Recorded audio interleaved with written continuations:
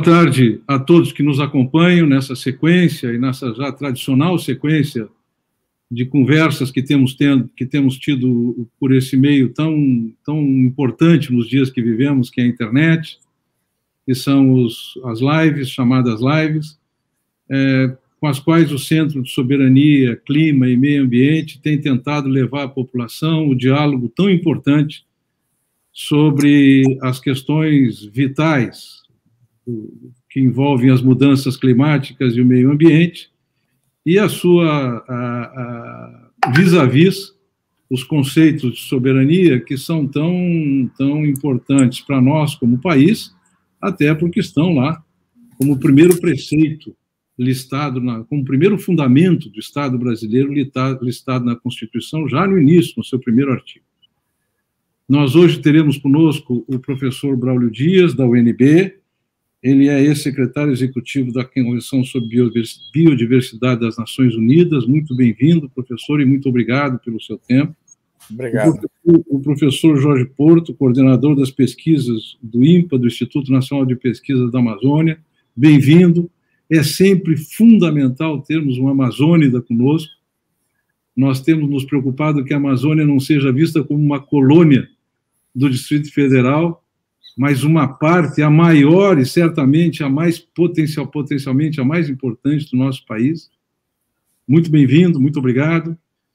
E o meu estimado amigo, o oficial de inteligência, hoje na inatividade, Antônio Muniz, especialista de muitos anos na área de inteligência na BIM, um especialista em contra-inteligência, um especialista na proteção do conhecimento, um homem que, que, que transitou, inclusive, com muito sucesso pela área da tecnologia, da tecnologia na inteligência, na área administrativa, e que deu uma contribuição por todos conhecida na Agência Brasileira de Inteligência e ao Sistema Brasileiro de Inteligência.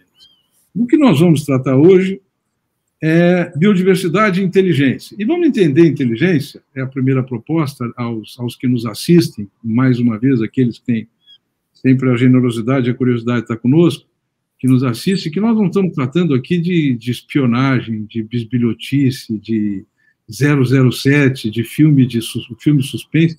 Nós estamos tratando de inteligência, inteligência substantivo próprio, o I maiúsculo, ou seja, os dados que estão à disposição do Estado a partir do processamento e como eles podem ajudar no combate às ameaças à biodiversidade e na proteção da biodiversidade. E mais, como eles ajudam na biodiversidade nos dois aspectos, sob a perspectiva da nossa soberania. Repetindo o que temos dito em todas as lives, em todas as nossas é, reuniões, a soberania não é vista como um, um, um conceito excludente e isolado, autônomo, ou, ou, ou, no mundo. Não, não ela vai ter as suas interações com as circunstâncias, até porque, usando o lugar comum que tantas vezes usamos, as, as circunstâncias que, que, que, fazem o clima, que, que, que se hoje se percebe nas mudanças climáticas, elas não têm nenhuma consciência sobre soberania de qualquer estado. Né? Não pode chover na fronteira do Brasil com a Colômbia, porque daqui para dali para cá é a partir daquele, daquele ponto é Colômbia e aqui ali eu não vou. Não é isso que vai acontecer. Nem a seca vai ter a mesma preocupação, nem os ventos, enfim. Tá? A nossa atividade, mais uma vez, vem com, com todo o apoio e a parceria do Instituto para a Reforma das Relações Estado-Empresa, que é o nosso mecenas, é o nosso irmão mais velho, que tem nos conduzido pela mão nesse, nesse, na, no, no, na consolidação da nossa, do nosso centro e que ao qual nós temos muita gratidão, seja aos seus profissionais, mas muito especialmente ao seu presidente, o, o senhor, o doutor Valfrido Varde Filho, advogado, é, diretor-presidente, presidente do, do IRI. Mas vamos lá, vamos aproveitar o tempo e o, e o talento dos nossos, dos nossos é, palestrantes e eu já passo a palavra ao professor Braulio Dias, e, mais uma vez é, reforçando o agradecimento que já lhe fiz pela sua participação conosco. Professor Braulio. Muito obrigado, ministro, e agradeço o convite de participar nessa, nesse evento.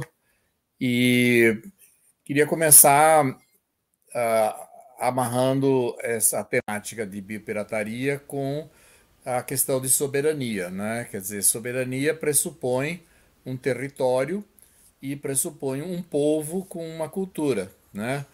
Então, a biopirataria é a apropriação indevida, ilegal, não autorizada de recursos genéticos e de conhecimentos tradicionais associados a esses recursos genéticos desenvolvidos por povos indígenas, comunidades tradicionais, agricultores tradicionais. Né?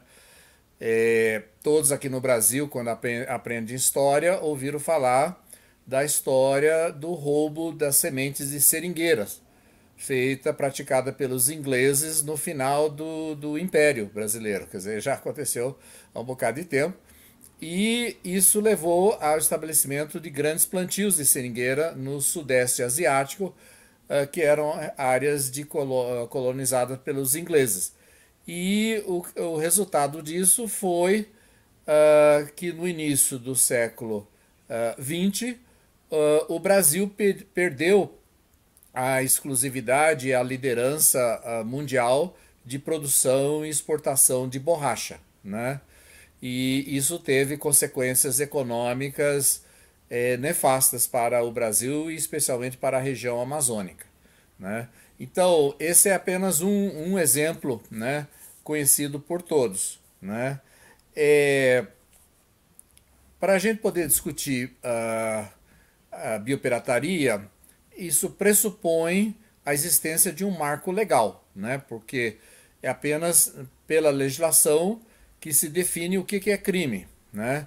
Então, o Brasil, na sua Constituição, no artigo 225, que trata do meio ambiente, trata uh, uh, especificamente da questão do chamado patrimônio genético. Então, uh, o parágrafo 1 do artigo 225 e definiu que isso é uma das responsabilidades do Estado brasileiro de monitorar né, a, a acompanhar a, a questão de a, proteção e uso desse patrimônio genético. Né? E o Brasil, é, pela primeira vez, é, estabeleceu um marco legal específico desse tema no ano 2000, através de uma medida provisória, que foi renovada uh, várias vezes e, fina e finalmente ficou uh, fixa no ano 2001 e ficou vigente por 15 anos. Né? E nesta medida provisória, é, que foi desenvolvida sob a coordenação da Casa Civil da Presidência da República, e eu tive o prazer de participar do grupo de trabalho que desenvolveu ah, toda essa discussão, é, foi definida patrimônio genético como ah, ah, informação de origem genética. Então veja que a gente buscou uma definição moderna, porque o que acontece hoje em dia com os aparelhos de sequenciamento genômico, o genoma de muitas espécies estão sendo desvendados e as sequências genéticas de muitas espécies estão sendo uh, depositadas em bancos de dados, né? Então essa é uma discussão agora atual na Convenção sobre Diversidade Biológica e no âmbito também do Protocolo de Nagoya, que trata especificamente desse tema, porque existem alguns países desenvolvidos e algumas empresas que entendem que quem fizer uso de informação uh, de sequência uh, digital, né, da, de informação genética, não precisaria repartir de benefícios, não precisaria autorização né, de acesso pelo país de origem e não precisaria repartir benefícios com o país detentor né, dos direitos sobre esses uh, recursos genéticos. Então, essa é uma discussão que está acontecendo nesse momento, inclusive. Essa semana está havendo negociações virtuais uh, sobre essa, essa, essa questão. É chamado sequência de, uh, genética, sequência de genética digital. E Felizmente, a definição adotada pelo Brasil é, abrangeu também a, a questão de sequência digital, né? porque a gente já previa que isso iria acontecer. Uh, em 2015, o Congresso Nacional aprovou a chamada Lei da Biodiversidade, que é, é a lei moderna que trata da questão de recursos genéticos no Brasil. Né? Então, o Brasil é, é, um, é, é um dos países líderes a nível internacional uh, no tratamento uh, dessa temática em, em sua legislação. Né? E isso é fundamental, porque sem esse marco legal não é possível uh, administrar essa questão, não é possível é, é, é, combater casos de bipirataria, não é possível fomentar né, desenvolvimento nessa área. Eu queria chamar a atenção, então, que essa temática envolve toda a riqueza de recursos genéticos que nós temos no Brasil, e o, e o Brasil é o país reconhecido no mundo inteiro como o país uh, mais rico em biodiversidade no mundo, né? e a região amazônica se destaca nisso, né?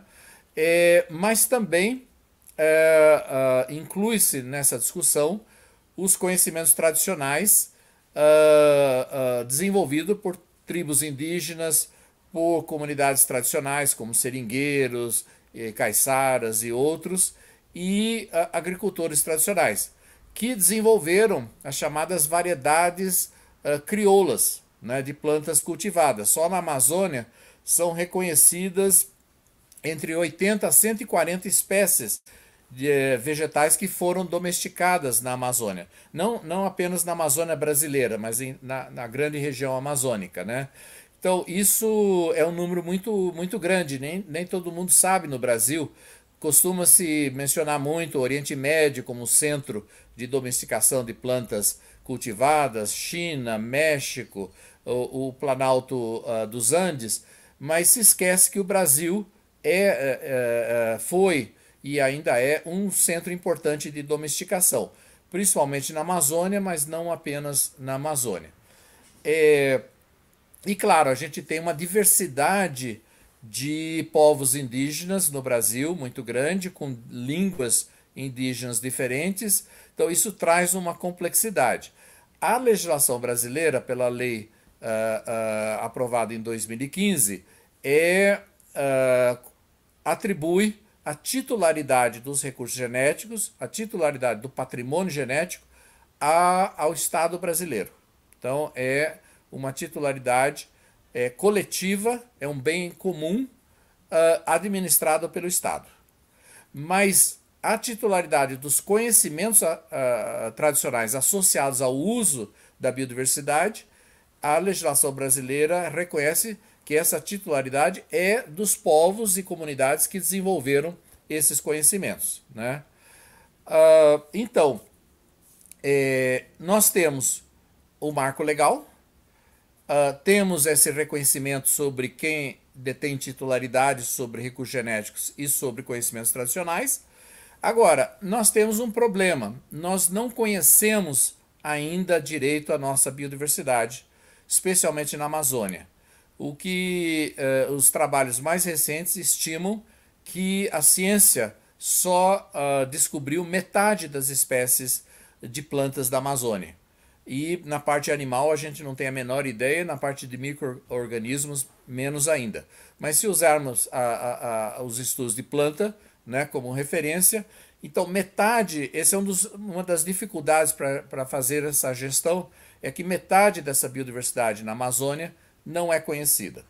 Outra uh, questão uh, uh, importante: a estimativa é, é que, em média, metade da, da, das espécies de plantas que ocorrem no Brasil, as espécies nativas de planta, metade são compartilhadas com países vizinhos.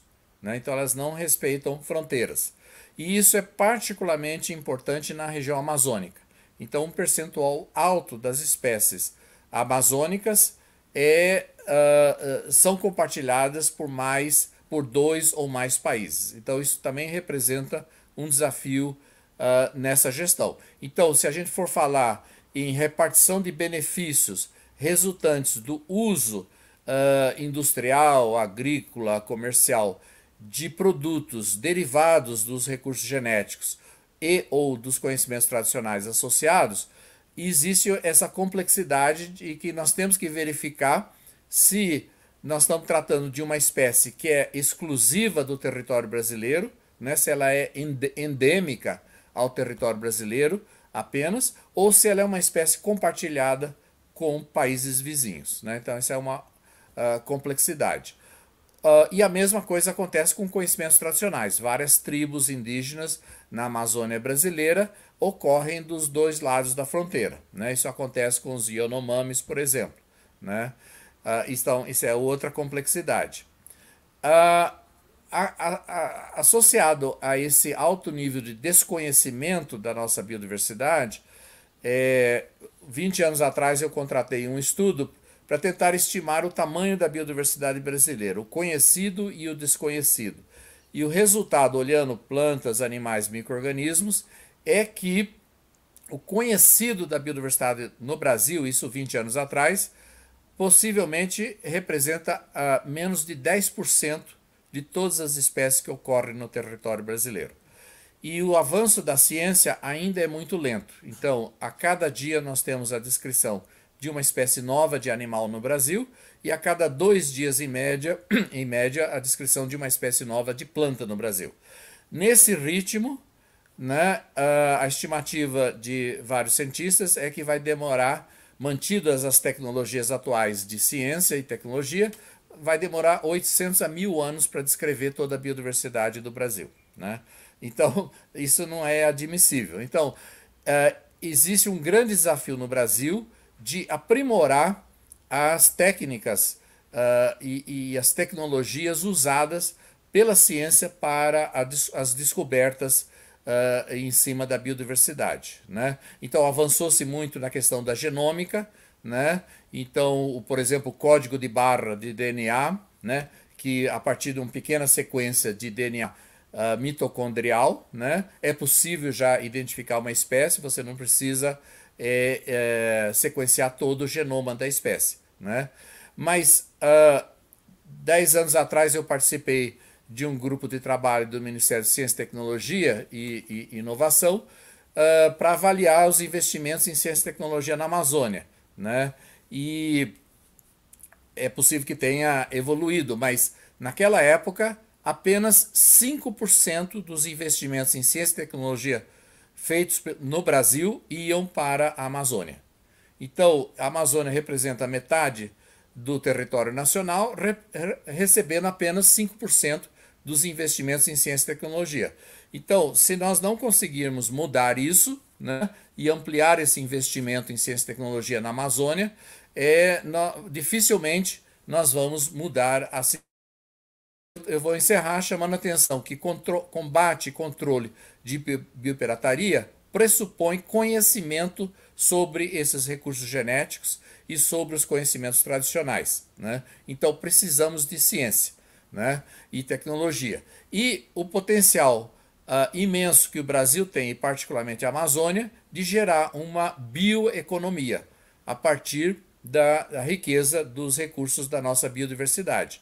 Então, isso, nós temos a biodiversidade, mas sem investimentos em ciência e tecnologia, né, isso não será é, possível alcançar. Eu vou parar por aqui, que eu acho que eu já estourei meu tempo. Muito obrigado.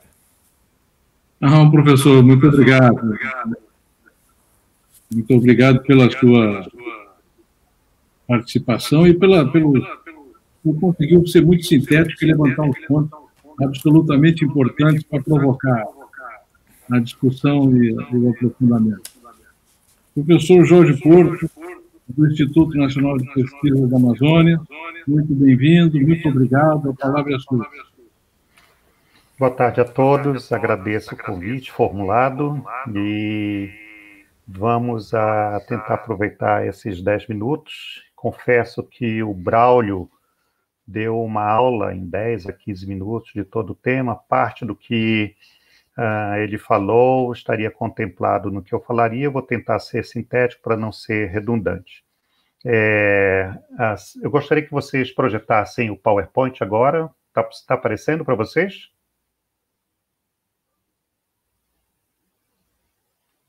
Sim? Me escutam? Sim, está. Ok. Então, ainda há pouco na apresentação, estavam falando sobre inteligência sendo um substantivo. E se a gente for pegar o conceito de biopirataria nos nossos dicionários, então a gente vai encontrar uma série de conceitos. Ainda há pouco, o Braulio que me antecedeu deu um conceito. Mas eu poderia falar dentro do conceito do dicionário que biopirataria seria o uso não autorizado e ou contrabando de recursos biológicos, como plantas, animais, órgãos, micro-organismos, genes, etc., como uma apropriação e monopolização de conhecimento de comunidades tradicionais no que diz respeito ao uso de recursos biológicos e uma divisão desigual de lucros entre o detentor de uma, de uma potente de uma patente e a comunidade indígena cujos recursos e ou conhecimentos foram usados. Isso a gente pode encontrar no dicionário do Michaelis, por exemplo. Mas qual é o tipo de biopirata que nós estamos é, olhando? É um Jack Sparrow da vida, por exemplo, do, da Disney? é um turista que aparece ah, para nos visitar e coloca tudo ou a parte da nossa biodiversidade dentro da mala, dentro de outros bolsos e assim sai, sai, ou você tem um processo de uma biopirataria associado com alguém que tem dinheiro, que tem recurso, amparado por um investimento numa comunidade que simplesmente não faz o benefício da coisa como um todo. É verdade que a nossa, que a nossa biodiversidade é enorme, como muito bem frisado pelo Braulio há pouco. Mas existem também outros conceitos de biopirataria, por exemplo, apropriação de conhecimento e de recursos genéticos de comunidades de agricultores e comunidades indígenas por indivíduos ou por instituições que procuram o controle exclusivo do monopólio sobre esses recursos e conhecimentos. A exploração, manipulação, exportação e comercialização de recurso biológico de um país e no uso e monopolização desses recursos do conhecimento das populações nativas locais acerca desses recursos por estrangeiros. Ou mesmo a exploração, manipulação, exportação ilegal de recursos naturais de um determinado ecossistema ou bioma, ou a exploração, manipulação, exportação e ou comercialização internacional dos recursos biológicos que contrariam as normas da Convenção sobre a Biodiversidade Biológica da diversidade biológica de 92. Tudo isso a gente faz um amálgama dentro daquilo que a gente está chamando de um biopirata ou de um biopirataria. Isso mudou, como ainda há pouco falou ah, o Braulio, na questão da lei da biodiversidade. Né?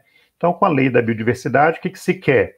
Evitar um Jack Sparrow da vida, nós queremos evitar um turista que se faz de turista e está fazendo é, traficando parte da nossa biodiversidade para fora do país, ou mesmo situações como essas de um investidor que simplesmente não faz repartição dos benefícios daquilo que ele vai estar tá explorando.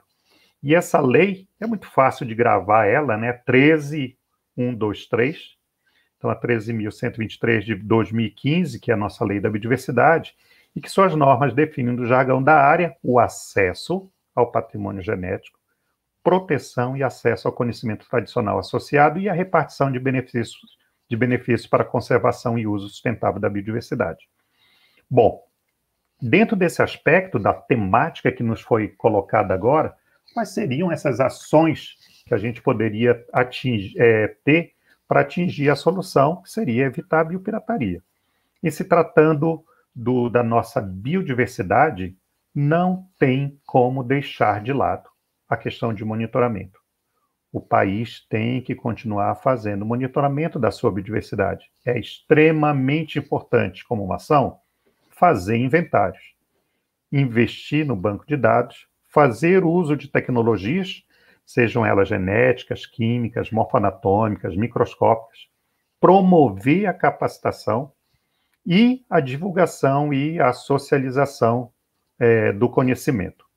Eu vou é, interromper essa apresentação do PowerPoint nesse momento para fazer a apresentação do vídeo. Você pode é, projetar o vídeo, deixa eu ver se vai aparecer para vocês. Está aparecendo.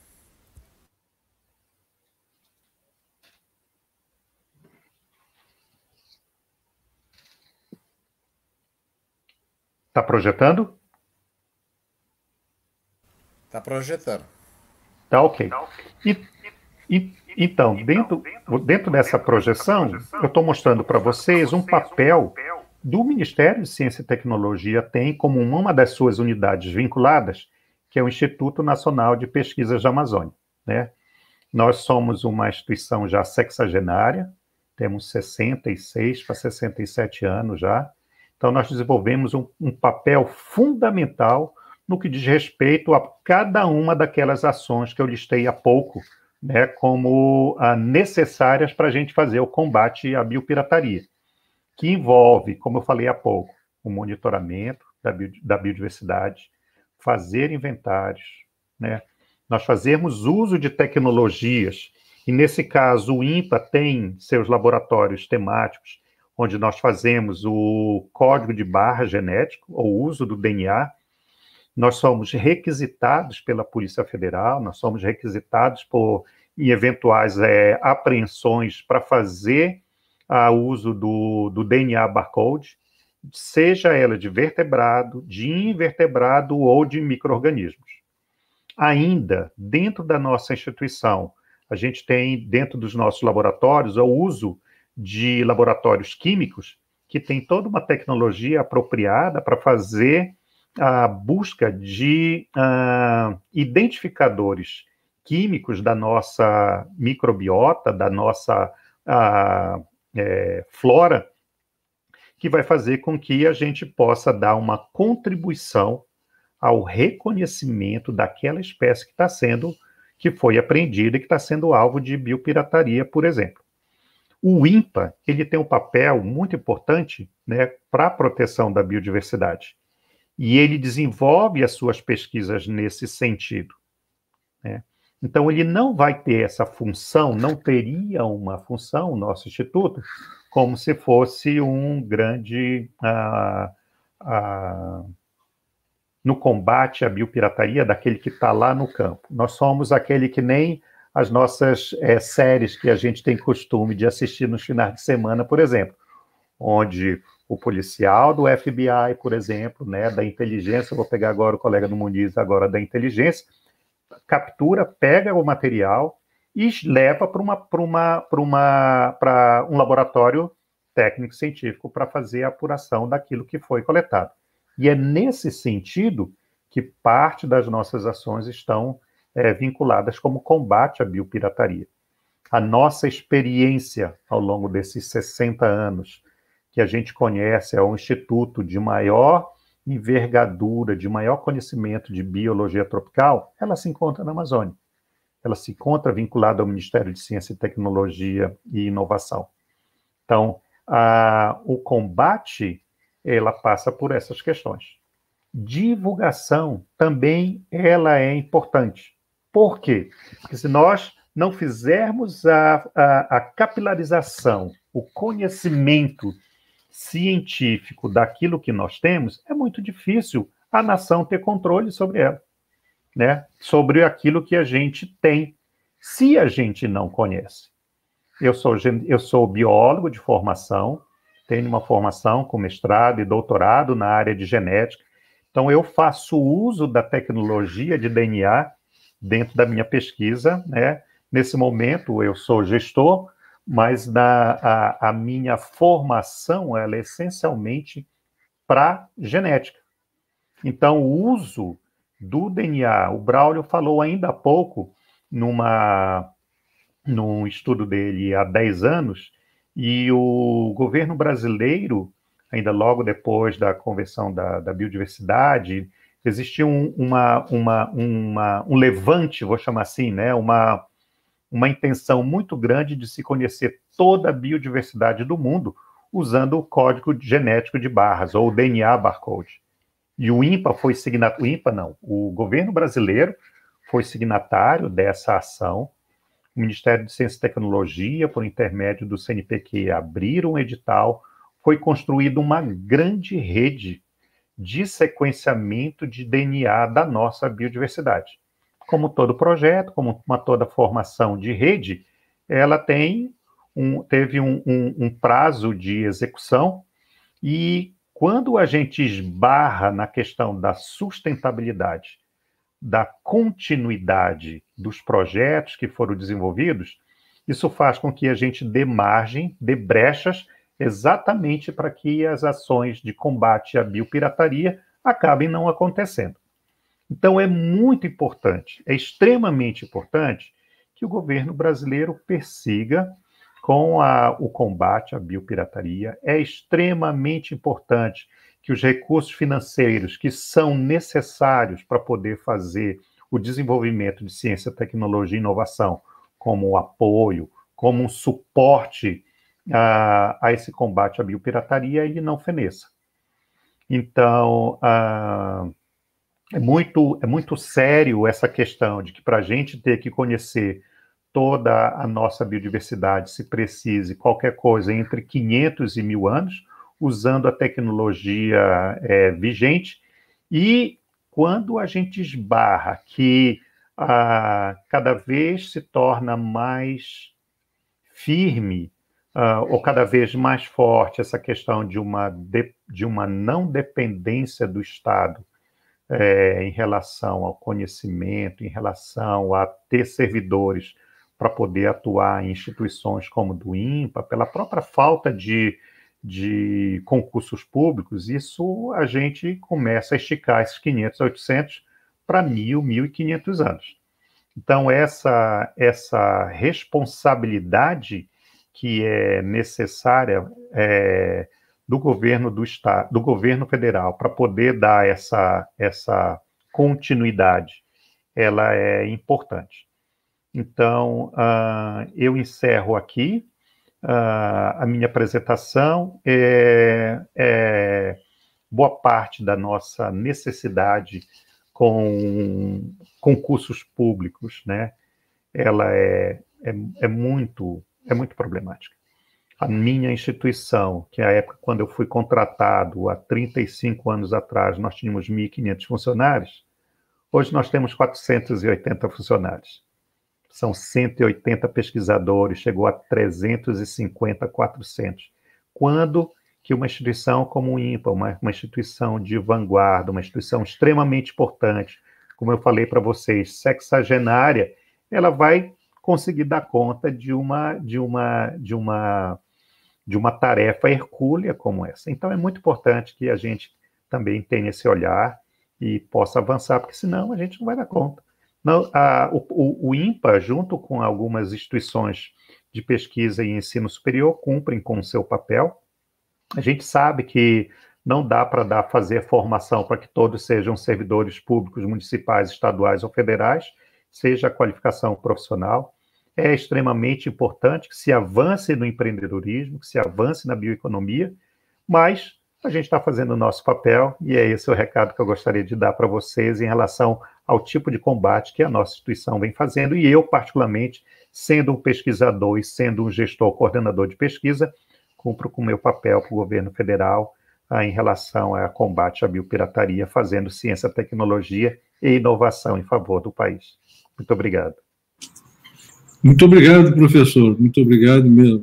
Nós, nós temos tido sorte do talento aí da, dos que nos ajudam a montar as lives pela complementariedade que temos conseguido aí, né.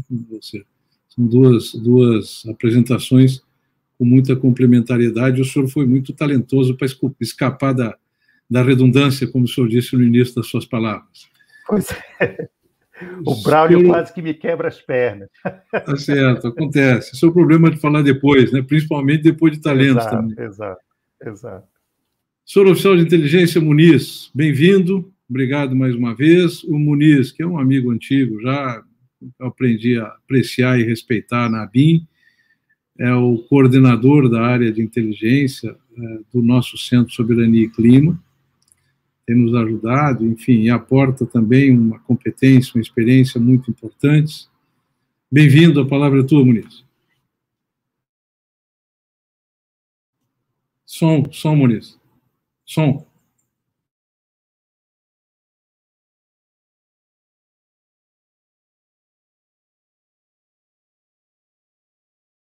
Ainda?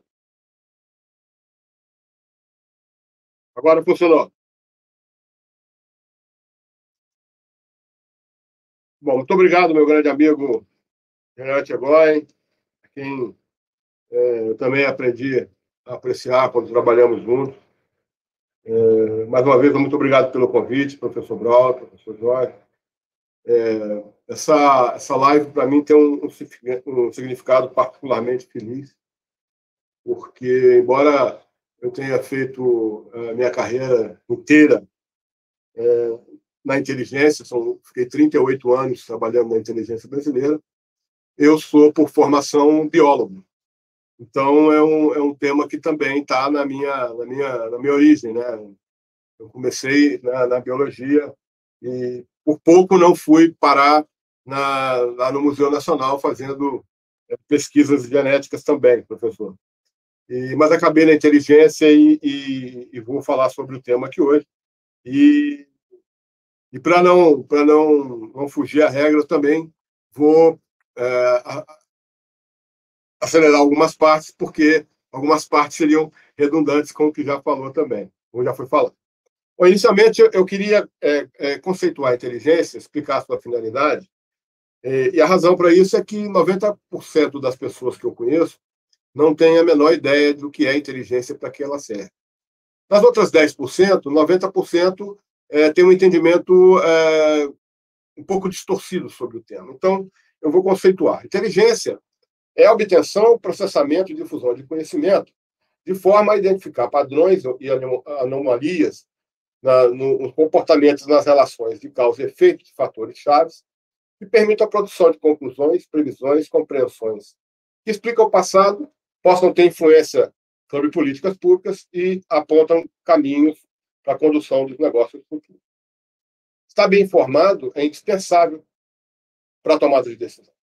Ninguém governa ou comanda adequadamente se não tiver uma estrutura que seja capaz de prover conhecimentos confiáveis, úteis, relevantes e oportunos. Portanto, a atividade de inteligência desempenha um papel fundamental, porque ela é capaz de reunir informações e colocá-las em um contexto que será útil para o tomador de decisão. Devo ressaltar aqui que inteligência não produz não elabora e nem participa da elaboração de políticas públicas.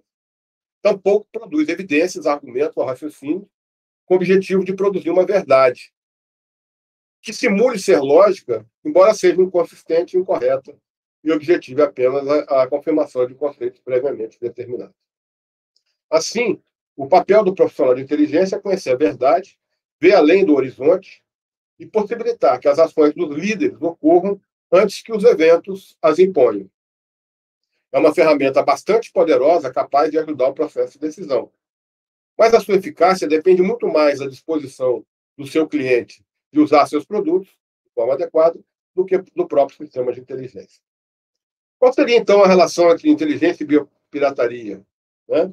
Eu, é, eu tinha preparado aqui um, um, conceito, mas eu vou usar o conceito que já foi é, falado pelo professor Braulio e pelo professor Jorge também. É, resumindo, biopirataria é o ato de, de se extrair recursos genéticos sem autorização do Estado ou da comunidade tradicional que o desenvolveu. Né? E, interessantemente, é, o conceito de espionagem com a qual a inteligência trabalha é a ação de obter informações sensíveis que a governos ou organizações interessem proteger sem autorização destes para alcançar vantagem militar, política, econômica, tecnológica ou social, por meio de um esforço organizado, vinculado ou não ao governo, para beneficiar Estado, grupos de Estados, organizações, facções, empresas ou indivíduos. Portanto, se a gente é, é, olhar com atenção para o conceito de biopirataria e para o conceito de espionagem, nós vamos ver que basicamente é a mesma coisa. Obter né, é, recursos é, sensíveis sem autorização e com fins é, é, econômicos, sociais, é, é, econômicos e financeiros. É, conhecimento sensível para nós da inteligência é todo aquele conhecimento que tem importância estratégica para, para os interesses nacionais e segurança do Estado e da sociedade. E, portanto, precisam de medidas especiais de salvaguarda. Essa proteção é fundamental é, para o desenvolvimento do país, conforme está consignado lá na Política Nacional de Inteligência, né, é, assinada pelo presidente da República em junho de 2016. A espionagem é uma ferramenta de competição extremamente desleal. É só para a gente ter uma, uma, uma, uma ideia do, do, que eu estou falando, o custo médio para desenvolvimento e da pesquisa e desenvolvimento de um novo fármaco, com base um princípio ativo sintetizado em laboratório, ultrapassa os 300 milhões de dólares. Esse mesmo fármaco, desenvolvido a partir da obtenção do princípio ativo na natureza, cai para um custo em torno de 60 milhões. É, é uma diferença brutal que compensa a, a, a grupos e a indivíduos a busca pela, pela espionagem, pela biopirataria, para é, é, é, fins de vantagem financeira. Muito melhor é, gastar 60 milhões do que 300 milhões. Então, nós que somos um país com uma biodiversidade riquíssima, estamos sempre sofrendo com esse tipo de, de, de atividade é, ilegal. É, a, a, inteligência, então, ela tem dois ramos, a inteligência, propriamente dita, e a contra-inteligência, e é, é, é uma, a ferramenta que nós podemos usar, nesse caso, para é, combater a biopirataria. Né? A contra-inteligência ela existe para prevenir, detectar, obstruir e neutralizar ações adversas de qualquer natureza, com o objetivo de salvaguardar dados, conhecimentos, áreas, pessoas, meios e processos. A Estratégia Nacional de Inteligência, de, 2017, ela é, consigna lá como ameaças a espionagem e as ações contrárias à soberania nacional. E, e isso fica claro que a biopirataria é, é, cabe nas duas definições. É, também na Estratégia Nacional de Inteligência, nós temos vários objetivos estratégicos ligados ao tema. Por exemplo, a criação de protocolos conjuntos para a proteção de conhecimentos sensíveis, fomento da cultura de proteção de conhecimento, identificação dos principais temas de interesse nacional para a defesa contra ações adversas, é, estabelecimento de um sistema de alerta para prevenção de potenciais ações adversas, criação de protocolos específicos para atuação integrada visando a neutralização de ações adversas, estruturação e compartilhamento de bases de dados, né? já, já foi falado também pelo professor sobre, sobre essa questão. É, então, e a, e a, inteligência trabalha com áreas prioritárias. Eu não vou citar todas aqui, é claro, mas vou citar aquelas que são é, é, ligadas ao nosso tema. Biodiversidade, obviamente, nós estamos falando aí de Amazônia, Pantanal, Cerrado, Mata Atlântica, a Amazônia Azul, biotecnologia, matrizes energéticas, novos materiais e tecnologia ambiental. Então, nós poderemos, nós poderíamos, né, podemos usar dentro da, da, da inteligência é, e da contra-inteligência medidas de proteção né, do conhecimento, que é uma medida passiva, uma medida que busca capacitação e, e a sensibilização contra ameaças, e também a contra-espionagem, que é o uso de técnicas e ações de inteligência para prevenir, detectar, destruir, obstruir, neutralizar as ações da espionagem estrangeira. Né? Então, o Sistema Brasileiro de Inteligência, o SISBIM, ele deve atuar por meio dos seus 48 órgãos, a maioria deles com representação nas áreas que mais interessam a espionagem e a biopirataria internacional, né? com o objetivo de mapear a atuação indevida de indivíduos ou grupos com relação à exploração é, da nossa biodiversidade, né? claro que a exploração não autorizada, né? e, e deve também priorizar a integração com as entidades públicas e privadas que, embora não participem do sistema de inteligência, tenham é, é, como colaborar nesse esforço e ampliando assim o escopo da coleta de dados e informações que devem ser canalizadas para o Centro Nacional de Inteligência, seria então responsável por produzir conhecimentos que embasariam as decisões sobre as ações governamentais. Uma atuação como essa em rede, com comando e controle centralizado, permitiria maior eficiência na proteção dos conhecimentos da biodiversidade é, por meio da produção de conhecimentos robustos né, sobre a, a, atuação de atores internacionais nessa agressão à soberania nacional, que é a subtração de conhecimentos e a subsequente geração de ganhos financeiros sem a devida contrapartida ao povo brasileiro. Conhecimentos de qualidade permitiriam, então, que autoridades governamentais, em todos os níveis, né, estadual, federal, municipal, elaborassem políticas públicas e planos de ação capazes de defender o patrimônio nacional de uma forma mais efetiva, trazendo ganhos para toda a sociedade brasileira. Mas nem tudo são flores. Também é importante pontuar aqui alguns obstáculos à atuação da inteligência. Né? O Brasil optou por limitar muito a possibilidade de atuação da, da sua inteligência. Para tentar impedir possíveis desvios dessa atividade, que é essencial a qualquer nação, nós criamos barreiras que impedem a sua, a, a sua atuação adequada, mas favorecem a atuação de agências estrangeiras vinculadas ou não ao governo no território nacional. É, entendo que é chegado o momento de revermos nossos conceitos sobre atividade de inteligência, né, sem a qual é extremamente difícil, se não impossível, governar de forma eficiente. É preciso regulamentar a atividade de inteligência dentro e fora do território nacional, de modo a respaldar sua atuação, bem como impor limites a essa, a essa atuação. É conveniente prever em lei o uso de técnicas operacionais, principalmente aquelas que possam implicar em algum tipo de restrição a direitos, além das formas de fiscalização e controle da atuação da inteligência. Necessário também viabilizar a obtenção de dados junto a órgãos públicos e a iniciativa privada, por meio do poder de requisição de informações, já existe isso para outros órgãos, e é urgentíssima a criação de um aparato legal que tipifique o crime de espionagem, de maneira a permitir atuação com relação às atividades estatais e privadas que operam, eh, eh, de agências que operam em território nacional, na obtenção de segredos industriais e de informações que vão significar ganhos financeiros e competitivos a esses atores internacionais, em detrimento da economia e da sociedade brasileira. Então, dessa forma, entendo que o grande desafio para a inteligência é proteger os conhecimentos sensíveis sem prejudicar o necessário fluxo de informações que geram novos conhecimentos.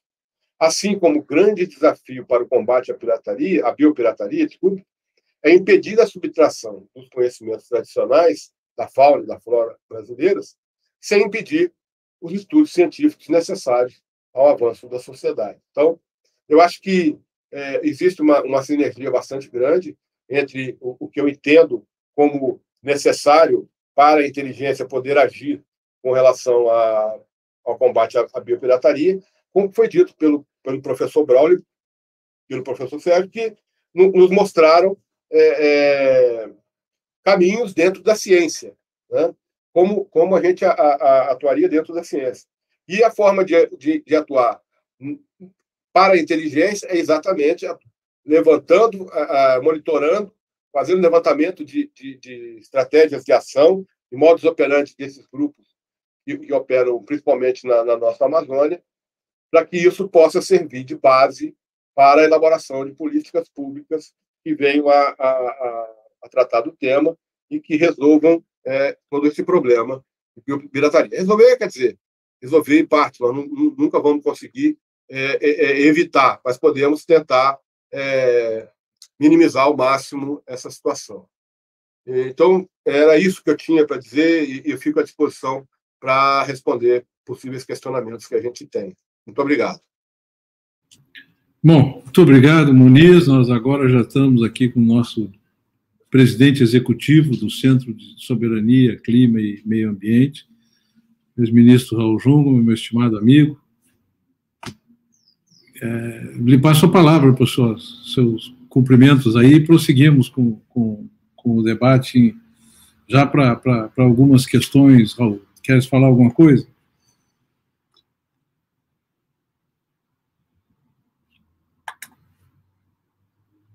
Eu acho que não está nos escutando, mas vamos lá. É, bom, depois dessas três exposições tão interessantes e tão complementares, a gente esbarra sempre, professor Braulio, professor Jorge, Muniz, nas formas, vamos chamar, diretas e indiretas, nos instrumentos diretos e indiretos, que de alguma forma constrangem a, a ação do Estado. Eu classificaria em políticas aquela velha discussão Estado de mais, Estado de menos, Estado necessário, né? as legais, que o Muniz se referiu, que são o constrangimento da atividade de inteligência, a não tipificação de crimes importantes, e as orçamentárias, que o professor Jorge eh, mencionou com tanto problema, com tanta. e certamente é, é, afetam a pesquisa, seja na academia, professor Brau, onde o senhor está, seja nos institutos ligados ao Estado brasileiro, ao Ministério da Ciência e Tecnologia, como é o caso do INPA. E o professor Braulio deu um, deu um dado muito importante, que 5% apenas da pesquisa até um determinado momento, que foi, que foi onde foi possível investigar, é que se dirigia a mais da metade do nosso território, que é o, que é a Amazônia, né? a região amazônica. A Amazônia chamada Amazônia Legal.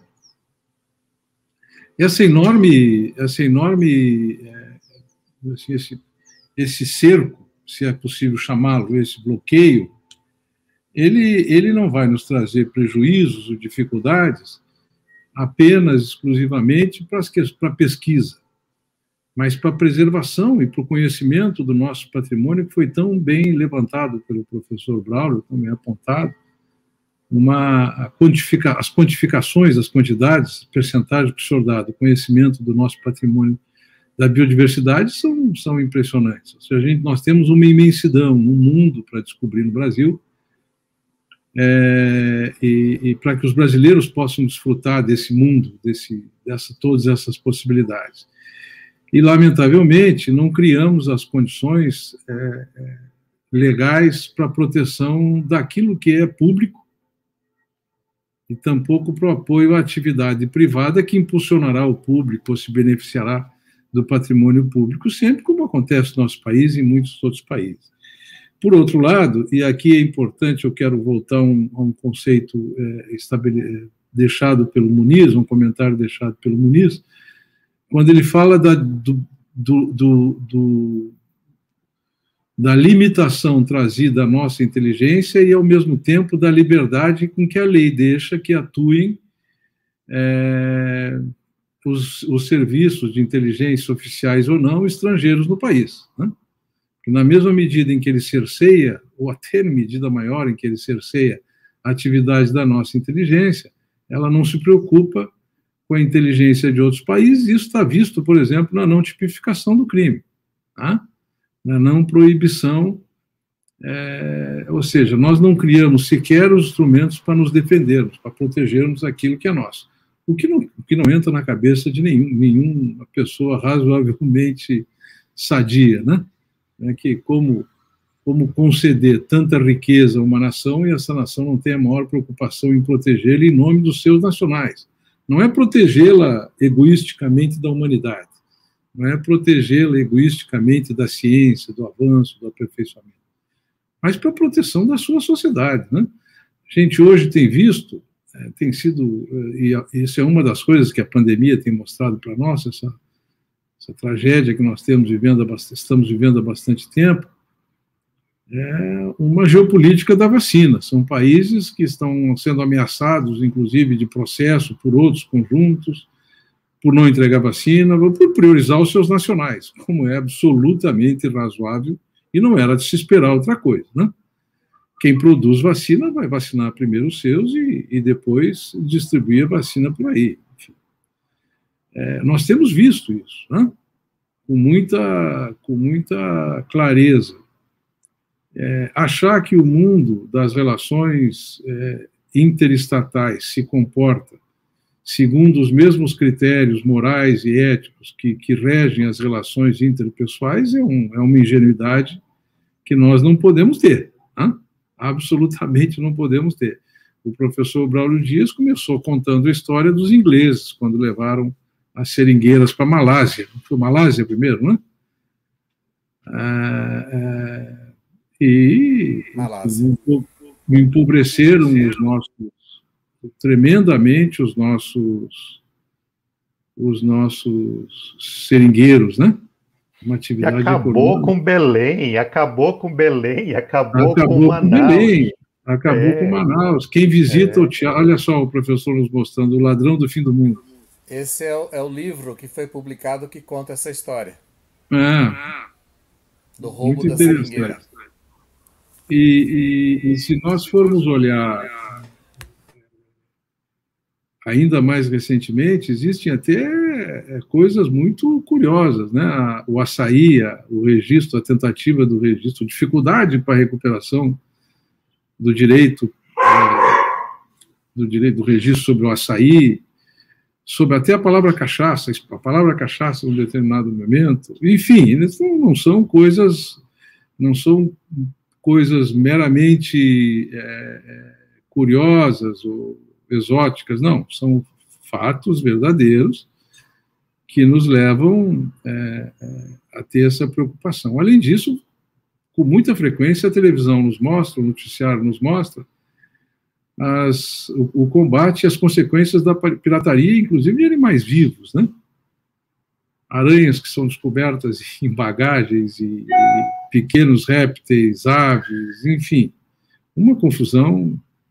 É, e isso nós não temos, não temos tido, seja instrumentos, seja na, na parte legal, instrumentos para combater, seja na parte orçamentária, os meios necessários, seja no apoio político, a, a, o marco legal que permita proteger o Estado brasileiro.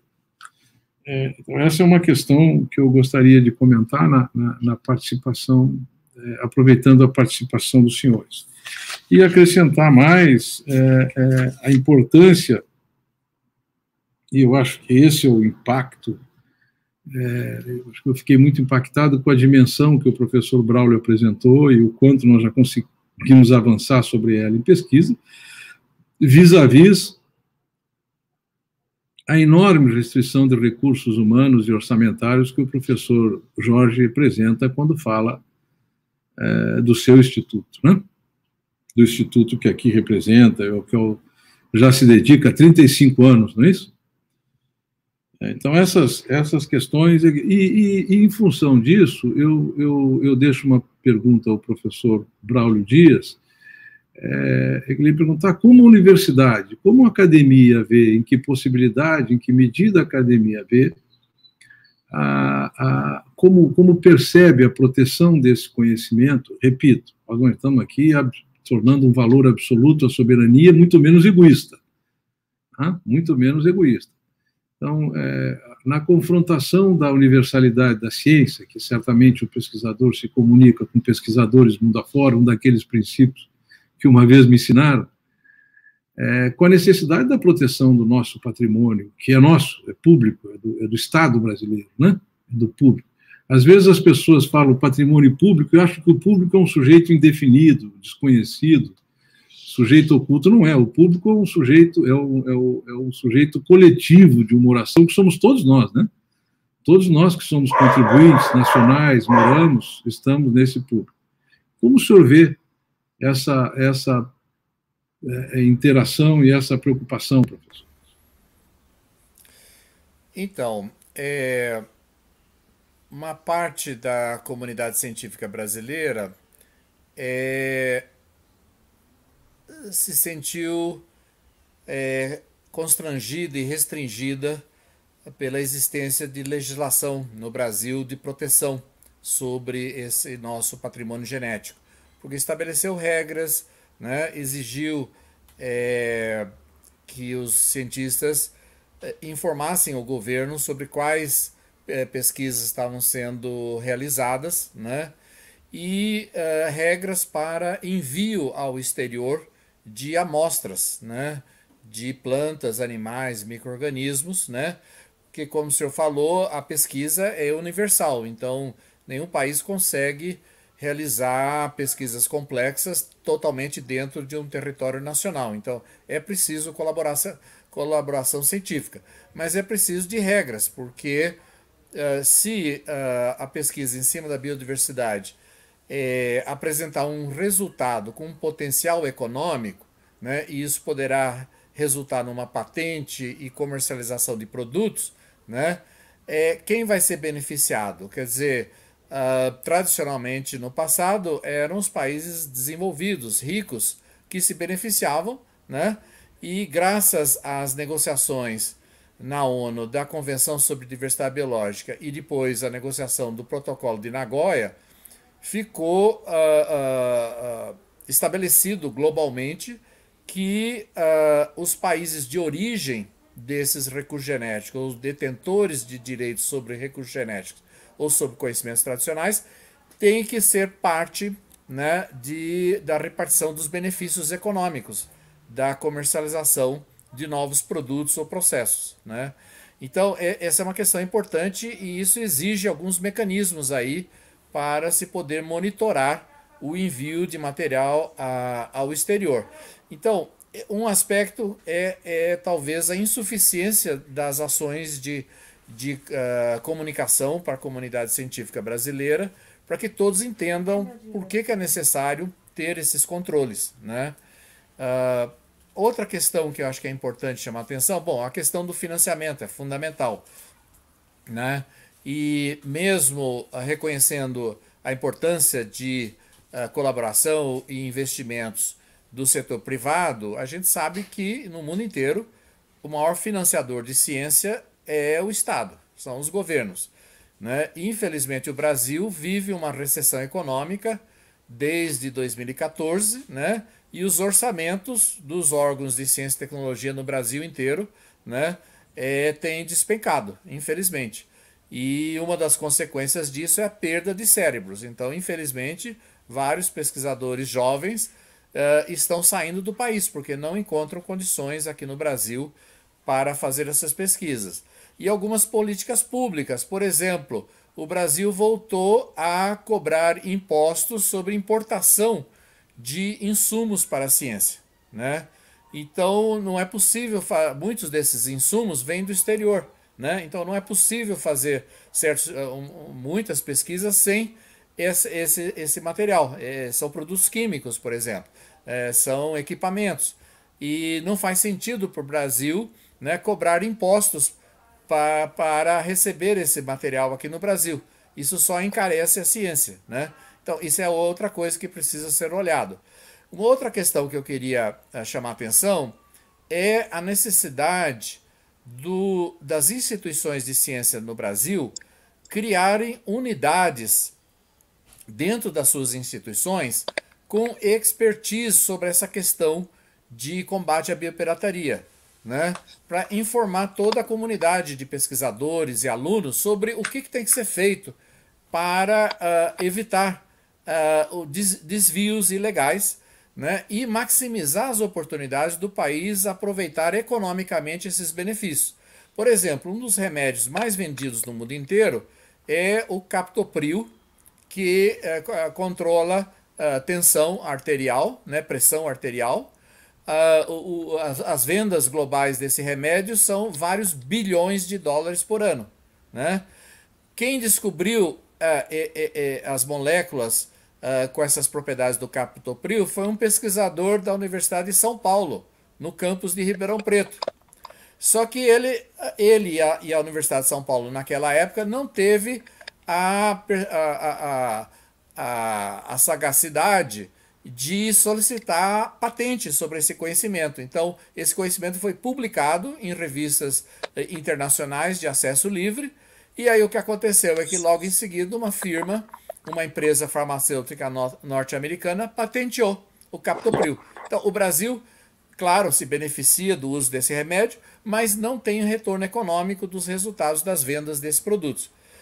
Um, um, um, um, outro exemplo. Semana passada, dia 19, é, foi publicado numa das maiores, melhores revistas de ciência do mundo, uma pesquisa feita por pesquisadores da Unesp e da USP em São Paulo, uh, com veneno de jararacuçu, né? e o captopril também vem do veneno de, de outra cobra, uma jararaca, e agora o que saiu é uma molécula que uh, uh, foi demonstrado por esses pesquisadores brasileiros que consegue inibir em 75% a capacidade de reprodução do vírus da Covid. Imagine a importância dessa, de, dessa pesquisa e o potencial disso. Né? Uma pesquisa muito sofisticada. Né? Uh, será que o Brasil vai conseguir se beneficiar economicamente disso? Será que vai tomar as, a, a, as medidas necessárias para uh, uh, patentear essa descoberta e poder depois licenciar o uso dessa descoberta para os laboratórios farmacêuticos, né?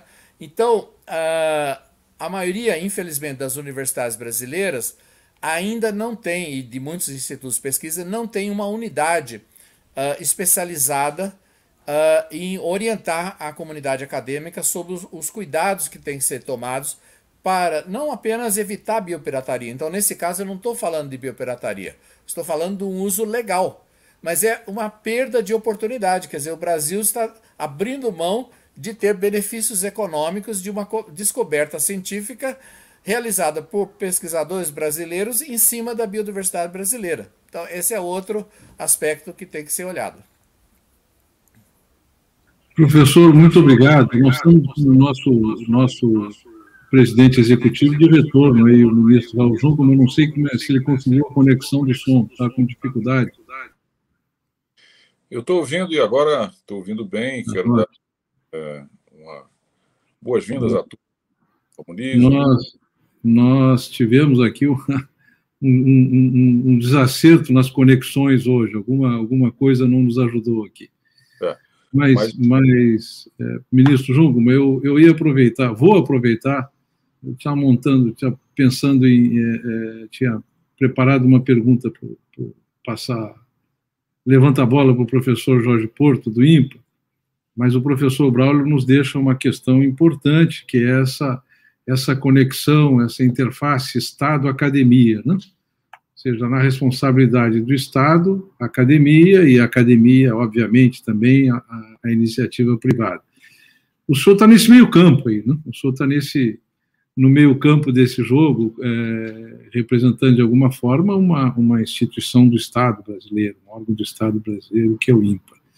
E aí, então, a minha pergunta, essa conexão, professor, entre os órgãos do Estado brasileiro voltados para pesquisa, para preservação, como é o caso do INPA, como é o caso do Ministério de Ciência e Tecnologia, é, nessa, nessa triple hélice, como chamam, o Estado, a academia e a, e a iniciativa privada, como o senhor vê isso na preservação, por exemplo, dessa descoberta dos, dos pesquisadores da Unesp, por exemplo, aqui, que que é outra, que é outra, é outra descoberta fantástica, que está aí é, à nossa disposição, né, para pesquisa, obviamente ainda para ser desenvolvida, uhum. imagino, mas... Era, acho que foi com a UFSCar, UFSCar e Unesp, não com a USP, se não me engano foi a UFSCar. E, mas é, se soma, esse tipo de, de atividade se soma a uma série de outras descobertas que são feitas pelos pesquisadores brasileiros. Então, eu vou, no, no primeiro momento, me ater, por exemplo, às quase 70 patentes que o INPA tem e que foi fruto de, um, de, uma, de uma mudança de postura em, daquilo que era de conhecimento aberto, e logo no início do século, né, por volta de 2000, 2002, como um, uma iniciativa muito grande do governo federal, principalmente com o pessoal da Fiocruz, uh, as instituições conseguiram avançar bastante no, na proteção do conhecimento. Agora, proteger o que e para quê? Né? Então, nós queremos ter salvaguarda, mas nós queremos fazer com que essa informação que foi protegida, que ela chegue ao mercado, que a sociedade se beneficie, que não sejam outros, que não haja repartição. Isso tem um custo. E não é baixo para cada uma, né? Então, se você proteger a informação, então proteger por proteger, talvez não seja a saída. Então, enquanto ah, no, nesses últimos 20 anos o INPA avançou bastante com relação a essa proteção, ah, desses 70 produtos é, que foram protegidos, né, ou em processo, é, vou dizer assim, protegidos já pelo próprio INPI, nós temos uma transferência de tecnologia, negociação com duas ou três, e o quanto que a gente consegue transformar isso em tecnologia social para que essa que a gente está protegendo, que está pagando, não possa ser beneficiado por uma comunidade, por um município, e não necessariamente que aquilo vá estar tá protegido para se transformar em royalties para a gente fazer a transferência da tecnologia para uma empresa, por exemplo. Né? Então, é um assunto complexo, é um assunto extremamente complexo. Não é fácil. Então, a própria lei da biodiversidade, a gente manter, ter um cadastro como o do CEGEM, ter o sistema do CIGEM, em que está é, tá se tornando obrigatório todos estarem cadastrados, todos estarem dentro do sistema para fazer pesquisa. Para vocês terem uma ideia, No, na plataforma Lattes, até 2016, nós tínhamos 200 mil pessoas cadastradas fazendo pesquisa, que vai desde o ensino médio até chegar no pós-doutor. Hoje, com essa quantidade de, de, de pessoas cadastradas, já aumentou. Ela já deve estar por volta das 300 mil. Então, quando você tem um cadastro, a necessidade de estar fazendo o, o controle daquilo que você está pesquisando, daquilo que se está enviando para fora no processo de parceria, a gente tem que acabar com essa história também de que todo cientista é um potencial biopirata. Caramba, que é isso? Nós não estamos para. Nós não somos biopiratas como pesquisadores. O fato de nós enviarmos amostras, né, sejam elas para os nossos parceiros no exterior, seja elas no, na forma de um envio ou de remessa para fazer análise, inclusive, porque ah, existem é, laboratórios que são totalmente especializados para fazer uma análise genética, uma análise química com um custo, custo-benefício extremamente inferior daquilo que a gente tem aqui no país. Só poucos sabem o quanto custa a gente comprar um equipamento de ponta, manter esse, esse equipamento de ponta e dar vazão às análises desse equipamento de ponta. Então, se o recurso financeiro provido pelo Estado no nosso orçamento, ou aquilo que é disponibilizado para os pesquisadores na forma de editais de fomento, sejam eles pela, pela, por uma fundação de apoio do Estado ou do governo federal. Então, se eu tenho 50 mil reais para desenvolver a minha pesquisa, o que, que eu consigo fazer com esses 50 mil reais para solucionar um problema? É melhor fazer o quê? Comprar o equipamento, conseguir bolsa para o técnico, fazer a manutenção, comprar os, os, os produtos químicos com custo elevado ainda, como acabou de ser falado ainda há pouco, com a, a, o imposto, ou eu pego esse recurso e digo, não, eu vou fazer encomenda de, um, de uma prestação de serviço na Malásia, na Índia.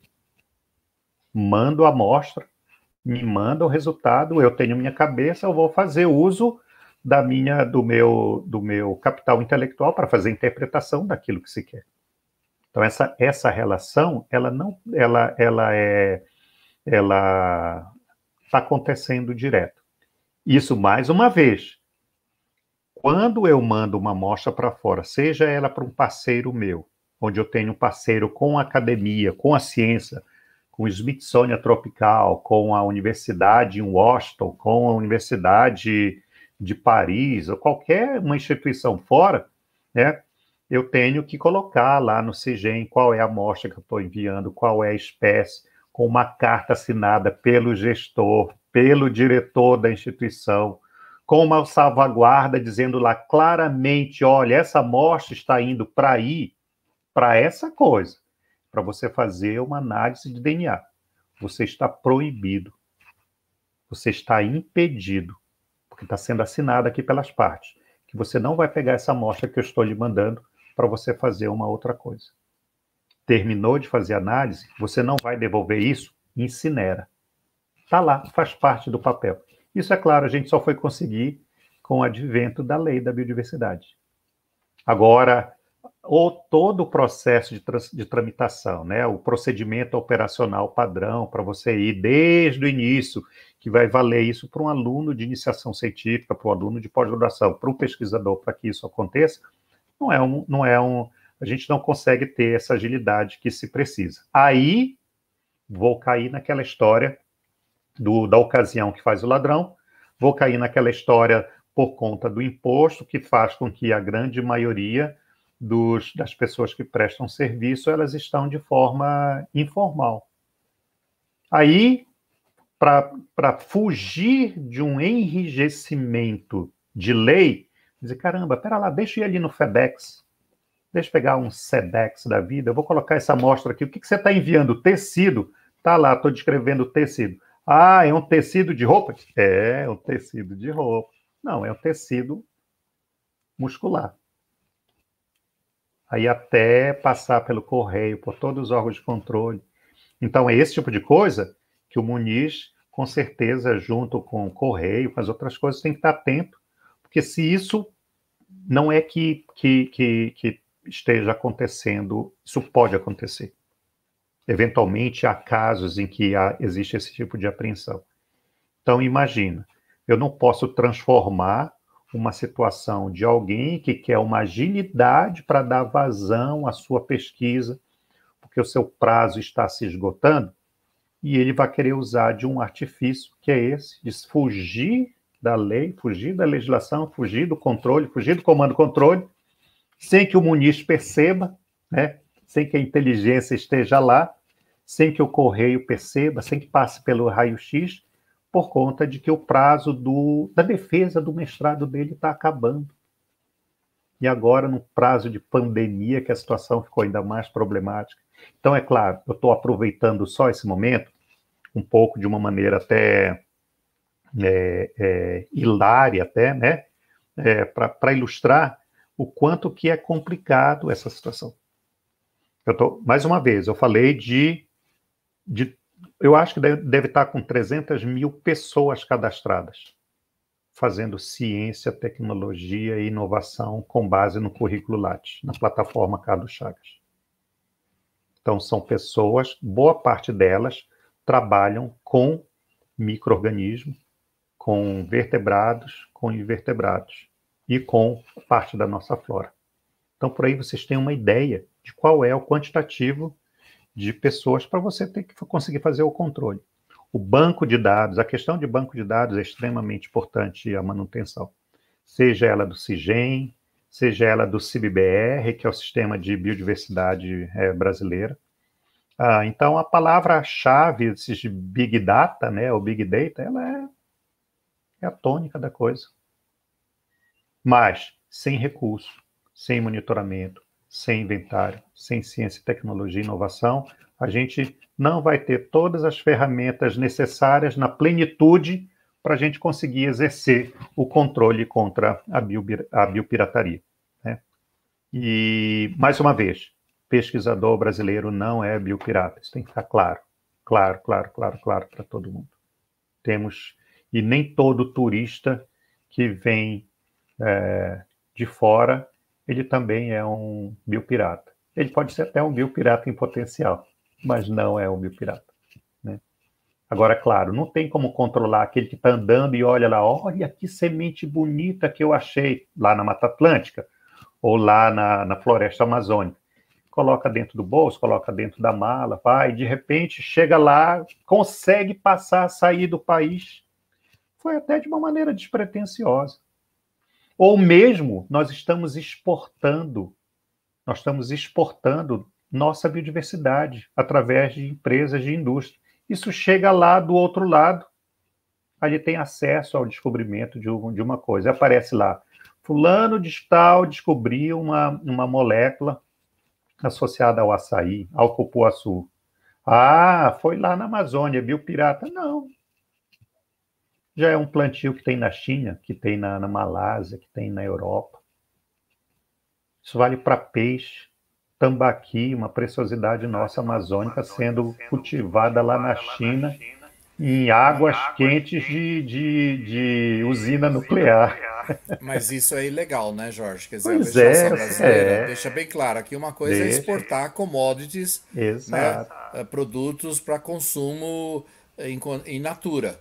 Agora, a se outra coisa for no mercado na Europa pegar uh, uh, açaí e quiser fazer pesquisa e desenvolvimento de tecnologia em cima disso, a lei brasileira diz que. Vai lá e bota ser, em cima, de, bota em cima do caboclo. Tem que fazer uma parceria com uma instituição tem. de pesquisa brasileira, tem que obter autorização e tem que fazer repartição de benefícios. Sim. E a legislação internacional, o, o protocolo de Nagoya, que o Brasil só veio assinar agora no início desse ano, finalmente, nos protege porque o protocolo Nagoya claramente proíbe, e, em termos internacionais, né, a prática da biopirataria. Então, se alguém quiser ir ao mercado e pegar um material proveniente aqui do Brasil para fazer o desenvolvimento de uma nova tecnologia, terá que solicitar autorização, fazer parcerias com instituições nacionais, senão será ilegal, né? Será um crime. E Sérgio, Sérgio Muniz, Raul, Braulio, existe uma tecnologia, uma grande tesoura biológica chamada CRISPR. em que você faz um recorte do genoma. Você pega o gene e consegue colocar onde você quiser. A gente vai perder totalmente o controle. Para você conseguir ter um controle sobre isso, vai ser cada vez mais difícil. Hoje mesmo eu estava lendo, hoje ou ontem, não me recordo, da, mesma maneira como o Braulio falou agora o exemplo do Jararacuçu, do caso de um uh, de um experimento que pegou um gene associado a, a, ao engordar a gordura. Aí um doido disse, doido não, entrar, vou, vou tirar a palavra doido, né? Uma, uma, um iluminado disse o seguinte: se eu pegar esse gene e colocar na batata, o que, que vai acontecer? Não é que a batata ficou maior? Um gene humano. Não é que a batata ficou com produto é, é, em tamanho, dizendo, caramba, isso aqui tem um interesse. Tem um interesse é, é para a indústria. Isso foi feito através de que maneira? Com engenharia genética e com essa tecnologia do CRISPR que não tem controle. Recentemente vocês viram, acho que a, aquela história lá do chinês fazendo, trabalhando em cima do, do, de espécie humana. Agora, lá nos Estados Unidos, não tem controle. Teve um, vou dizer outra vez, um iluminado, né? um, um jovem professor do ensino médio que tinha conhecimento de biologia, né? e disse: caramba, quer fazer o seguinte? Se eu abrir aqui uma startup, eu vou pegar todos os ingredientes, ao invés da pessoa ficar pagando uma fortuna para fazer o uso dessa tesoura biológica, que é dessa, dessa metodologia do CRISP, eu vou vender cada item que é necessário. Então, eu vou democratizar. Quem quiser fazer isso, pode fazer na garagem de casa. O cara está abrindo, abriu uma startup, manda pelo correio todos os ingredientes. Aí está todo mundo fazendo do jeito que quiser. Colocando gene de fluorescência, gene de fluorescência de vagalume em camundongo pegando gene associado à musculatura, o cara está se injetando para dizer: eu quero ficar um cara bombado. Então, aquilo que nós vimos no Blade Runner, lá do, do, do filme, está se tornando realidade. Desculpe, esse exemplo, Jorge, entra numa outra questão, que é a questão de biossegurança. E da ética. E da, e da, ética, da bioética. Da bioética. Quer dizer, é, tem que haver controle né, para que um, um pesquisador desvairado do, faça um experimento e desenvolva um, um ser ou um produto que possa oferecer risco para a saúde humana ou risco para o meio ambiente, né? E, e, ou então até criar uma arma biológica, né?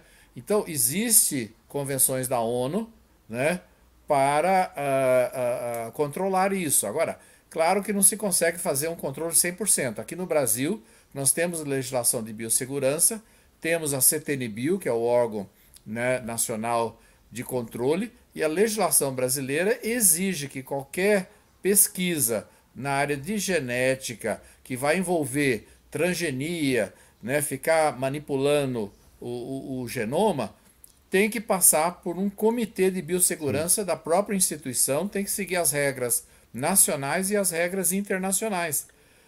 Ou a gente faz isso, ou então o, o, os riscos para a saúde humana e saúde ambiental ficam uh, uh, vão explodir, né? Então tem que ter regras. Agora, é. claro que pode ter desvios, né? E esses casos têm que ser denunciados e combatidos.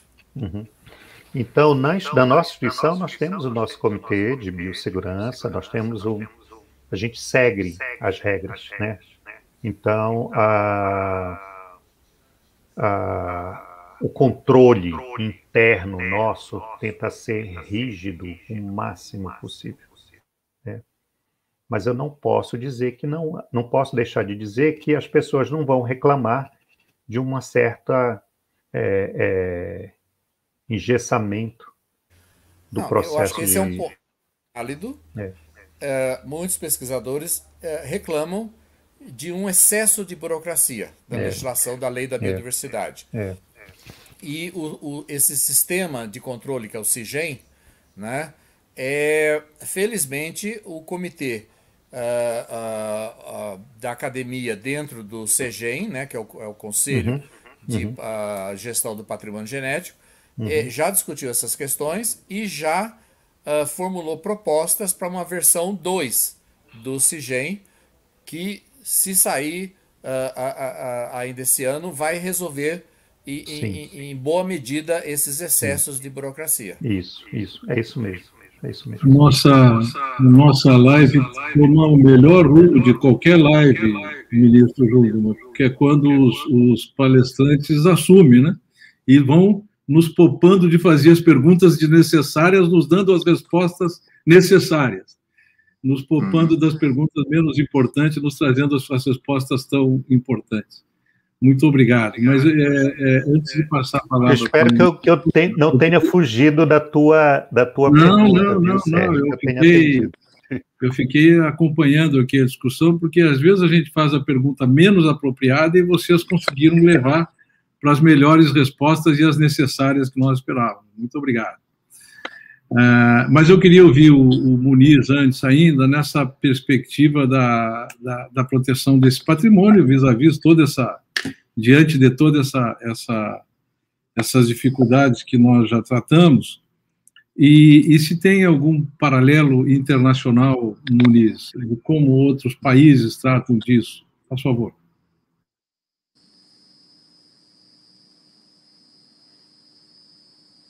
Som, som, Muniz, por favor.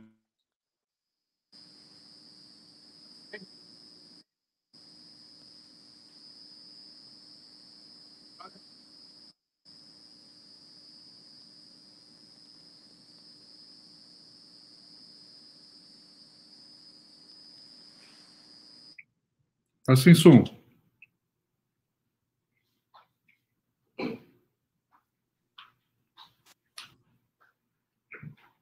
Agora melhor. Agora deu o som?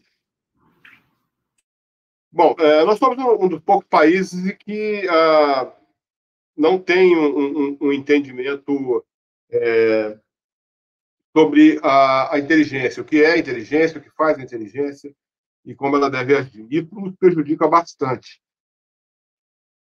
É, em todos os países que eu conheço, em que eu já tive a oportunidade de estudar, a, a, a legislação sobre espionagem é muito severa, né? tendo em vista o, os prejuízos que causa a economia dos países. Né? Então, existe uma busca constante por acelerar o, o, desenvolvimento científico por meio da espionagem. Quase todos os países do mundo praticam espionagem de uma forma rotineira. O Brasil é um dos poucos que tem a, a, muita resistência a isso. E, infelizmente, essa resistência à, à, prática da espionagem acompanhou a resistência à defesa contra a espionagem. Então, é, países desenvolvidos como Estados Unidos, europeus, França, Alemanha, Inglaterra, Itália, todos, todos protegem a, o seu conhecimento, né? Todos é, possuem leis severas sobre isso. E nós precisamos avançar. Nós precisamos avançar com a lei, nós precisamos é, dar ajuda à comunidade científica, como o, o, os professores acabaram de falar, não, não, é, não é engessar a pesquisa, não é, não é, é tornar impossível, mas é, melhorar a condição para que o pesquisador nacional, o brasileiro, possa levar a, a, a sua pesquisa adiante. Né? Então, é, os países eles, eles costumam ter é, acompanhamento sistemático de estrangeiros, acompanhamento sistemático de quem está fazendo o quê dentro do país. É muito comum né? Os Estados Unidos, principalmente, faz muito isso. É, existe muita espionagem chinesa, espionagem, aliás, no mundo inteiro lá, né? Então, eles fazem isso de uma forma rotineira. Obviamente que não se consegue impedir tudo, não se consegue é, é, é cuidar de 100% é, das tentativas de espionagem 100% do tempo. Mas é preciso haver é, uma atuação constante de, de órgãos de, de contra-inteligência, no sentido de acompanhar principalmente essas questões de, de, de, de, pesquisa, de pesquisa na Amazônia, que não são acompanhadas ou, ou, ou parceria, com parceria com instituições brasileiras. Né? Então, é, é, é um acompanhamento difícil, porque envolve restrição a direitos, né? é, é necessário acompanhar é, pessoas, acompanhar comunicações, acompanhar, enfim, isso envolve restrições a direito. É preciso ter uma legislação que nós não temos. Né? Então, o acompanhamento da comunidade científica no, no, no, na Europa, nos Estados Unidos, é, é, constante. A própria comunidade científica ela se precaver contra esse tipo de coisa. Existe uma parceria muito grande da comunidade científica com a, a, a contra-inteligência, porque, afinal, é, é, a proteção do trabalho do próprio cientista. Né? Então, o, o roubo de um, de um, trabalho, e aí foi citado aqui a questão da, da, da borracha, né?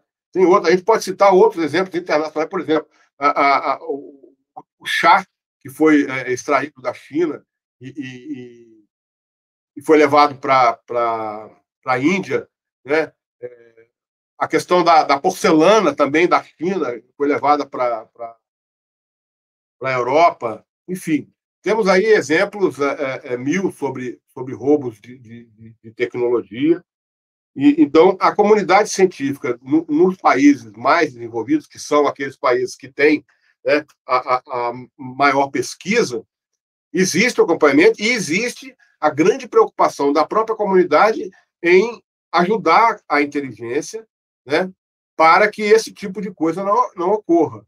Vira e mexe, a gente está vendo aí no jornal. É, chinês que estava é, é, roubando segredos industriais americanos, e, e, aí lá no caso deles é mais a indústria, né, do que no nosso caso aqui, nós estamos preocupados somente nessa conversa sobre biopirataria, mas no caso deles é a indústria, né, é, é, verdadeiros roubos de, de, projetos inteiros. Outro dia mesmo eu estava fazendo uma palestra e estava mostrando as imagens de um caça americano de última geração e do seu é, da sua cópia chinesa, exatamente por fora exatamente igual. Mesma coisa aconteceu com os russos tem um caça russo também de, de última geração que foi integralmente copiado pelos chineses. A gente vê nas fotos, é impressionante a semelhança. Né? Isso tudo é fruto de espionagem. Né? E acontece aqui com a gente também. Não necessariamente a espionagem de um órgão de inteligência, mas a espionagem de um, de um, de um, de um comerciante, de um, de um empresário que quer simplesmente ganhar dinheiro. E ele busca aqui a, a, a nossa fauna, a nossa flora, e vai fazer a pesquisa lá fora, ou até rouba mesmo, o caso do Capitoprio que o professor citou, é, é bem, é bem, é bem é, emblemático disso. Quer dizer, nós precisamos que a, a, estreitar esse laço da contra-inteligência com a nossa academia, evitar até que o, o, o pesquisador nacional seja roubado. Né? Então, é, é, a atuação, é, é, eu vejo dessa forma. Né? é, é preciso haver uma integração muito grande entre a inteligência e a academia. É preciso desmistificar a inteligência, tirar essa coisa de que inteligência é bisbilhotagem, inteligência. Não, a gente sabe, quem trabalha nisso sabe que não é assim, mas é preciso desmistificar isso, é preciso é, é, que a comunidade científica se aproxime e, da mesma forma, a, a inteligência se aproxime da comunidade científica e mostrando os benefícios que uma pode trazer para outra. Quer dizer, a, a, comunidade científica traz benefícios para a inteligência na medida que traz benefícios para o país.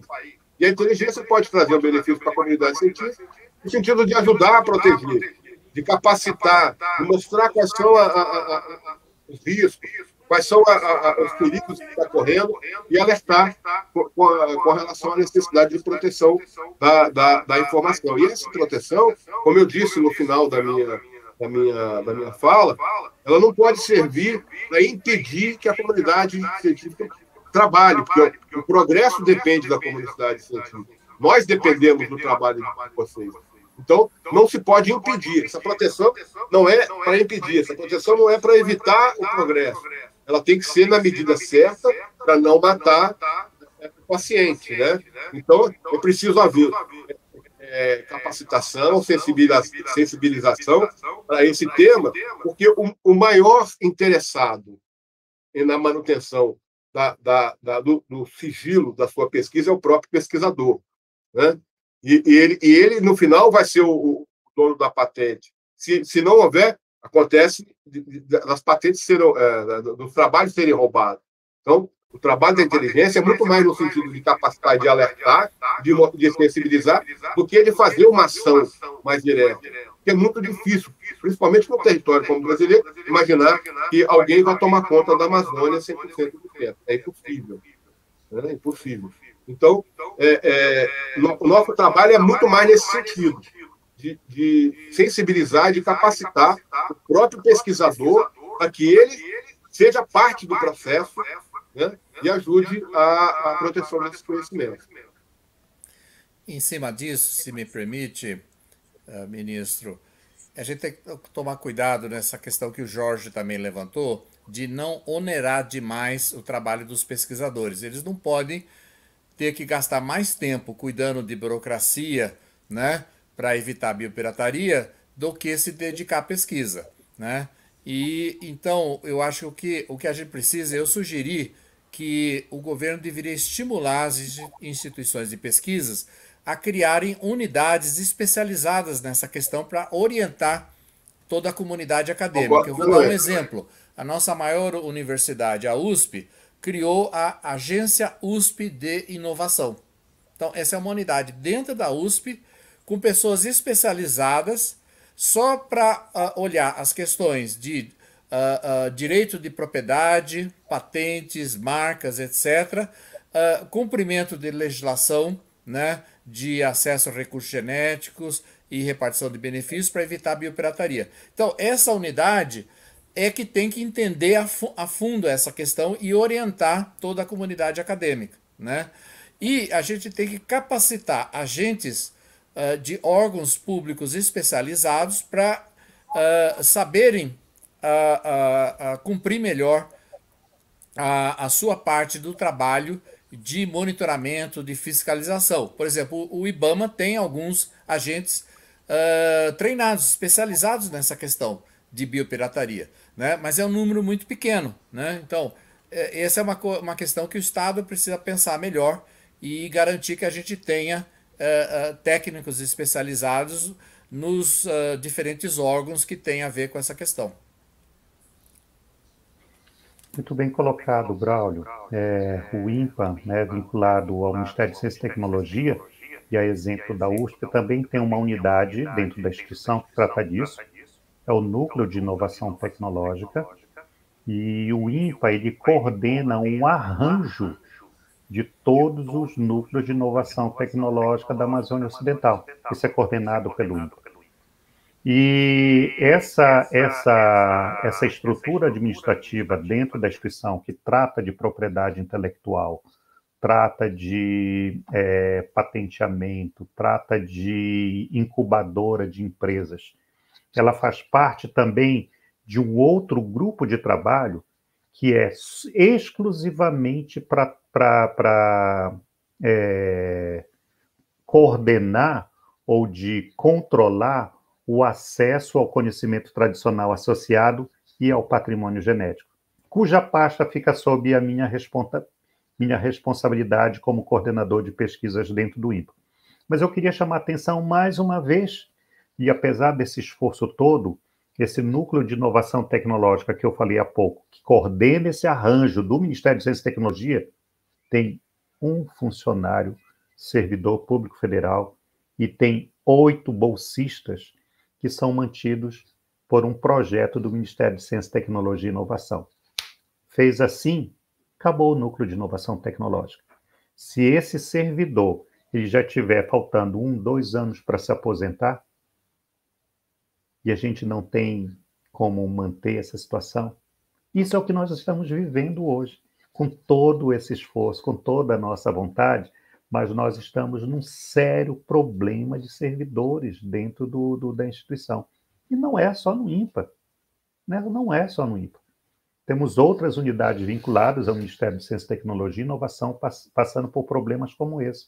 nós temos uma situação, como a gente viu semana passada, de uma universidade estadual do Rio de Janeiro com uma proposta de ser de ser extinta e os, os, os alunos irem diretamente para as universidades particulares.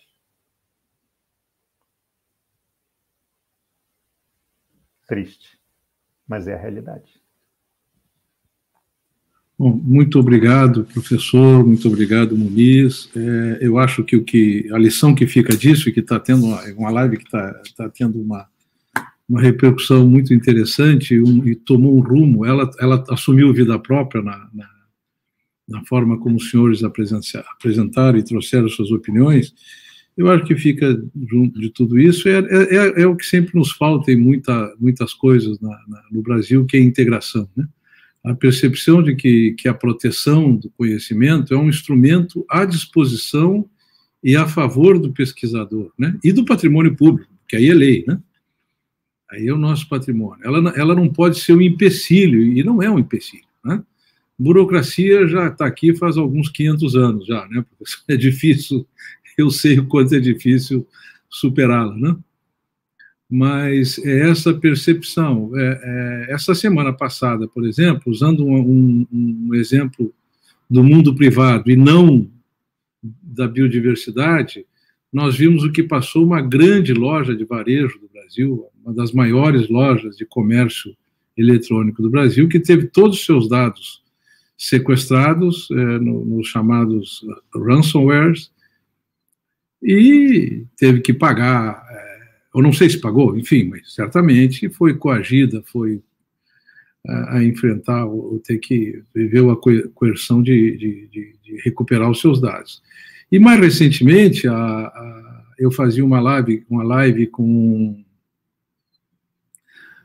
um, um dos, dos, dos, executivos de segurança do grupo Sony Entertainment, direto de Los Angeles, de São Francisco, um dia desse, e ele dizia que a, que a Apple foi hackeada na, em Taiwan, na sua fábrica em Taiwan, e teve que pagar 50 bilhões de dólares. Isso não é pouca coisa. Né? E as empresas não estão pagando. 50 milhões de dólares, desculpa. 50 milhões de dólares. Isso. E as empresas não estão pagando, estão muito preocupadas em, em se pagam ou não, porque mesmo assim os hackers têm, mesmo recebendo os, a, a, criptomoeda correspondente aos milhões que pedem, elas é, é, despejam o conhecimento na rede. Imagina os conhecimentos industriais da, da Apple com a sua nova geração, que certamente virá esse ano, como vem todos os anos, na mão de hackers, tudo que pode acontecer. Né? Mas esse é o, é, o, é o mundo que a gente vive, por isso a importância da gente trazer pessoas tão representativas como os senhores, em cada uma das suas áreas, para a gente discutir aqui de uma forma muito, muito aberta, muito transparente e muitíssimo ah, informativa, como os senhores nos ajudaram, na necessidade da integração disso. Mais uma vez, repito, sob a perspectiva da soberania, entendendo a soberania até mesmo com, com um valor generoso, né? constitucional, importante, histórico, necessário do Estado, do público, mas também generoso e integrado na, na, na, comunidade internacional, que luta aí pela prosperidade de todos nós. Ministro Raul Jungro, não sei se já, já uh, regulou sua, já ajustou já, já regularizou a sua, a sua conexão e queria a palavra. Queríamos lhe ouvir antes de encerrar e de agradecer. Aliás, eu queria, para não tomar mais tempo ainda, e a nossa nosso tempo está Expirando, queria lhe pedir que fizesse por nós todos os agradecimentos aí logo após as suas palavras. Obrigado. Bom, eu peguei, como se diz, o bonde andando, então não me atrevo a fazer, como usualmente, comentários, até pela complexidade e pelo brilho dos palestrantes, seria uma intromissão que, sem sombra de dúvida, rebaixaria o nível deste debate. Mas quero dizer que a parte que me pude, é, que eu pude assistir, achei interessantíssima, extraordinariamente curiosa e de uma importância simplesmente estratégica para o país. Poucas vezes nós tivemos aqui uma discussão tão atual e atual e digamos assim futurística, futurística no sentido de que o futuro passa por aí. É por aí que o futuro passa. É exatamente por aí, né? é, é, é, é, nessas questões todas que os senhores aqui debateram com tanto brilho. De sorte que, da minha parte, é, é, só me resta agradecer é, pela aprendizagem que nos foi dada pelo Muniz, pelo professor Braulio, da UNB, e pelo professor Jorge Porto, do INPA. E acho que esse tipo de debate merece uma outra rodada. Ainda há pouco, o Marcelo é um dos nossos diretores, né? O Marcelo, ele entrou aqui no, no, no Zap dando parabéns, inclusive a Mariana, que eu também dou parabéns, que ajudou a organizar, praticamente organizou esse debate. E acho que, sem sombra de dúvida, valeu a pena cada minuto desse debate e espero que aqueles que nos estão vindo através do YouTube, enfim, outras plataformas, também tenham aproveitado o conhecimento, o debate, a profundidade, o entendimento e, sobretudo, tenham a dimensão do que estrategicamente representa para o nosso futuro, para o país, essa, esse debate a respeito desse tema. Parabéns a todos. Senhor Presidente do Conselho, paro por aqui e, agradecendo a todos, me despeço e retorno a palavra ao nosso presidente do Conselho, Sérgio Atiguai. Obrigado, obrigado pelos seus comentários. E é sempre bom ouvir o ministro João, ele é um homem de, de, de uma capacidade de síntese, de acrescentar coisas interessantes. Mas eu queria passar a palavra aos senhores para as, para as, as, as